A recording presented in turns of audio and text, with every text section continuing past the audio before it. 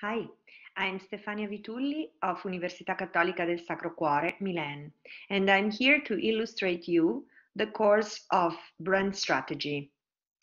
Why to choose this course for your summer 2021?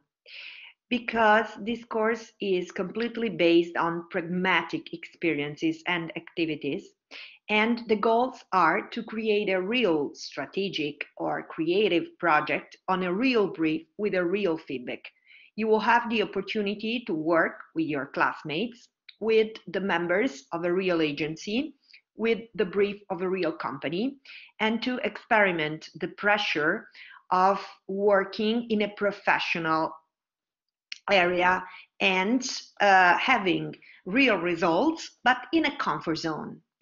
And in the meanwhile, you will have the opportunity to understand the complex relationship between agencies, clients, companies, brands, and so to go really in depth with the experience of a brand management. I hope to see you soon in my class and enjoy the choice and the course. Ciao!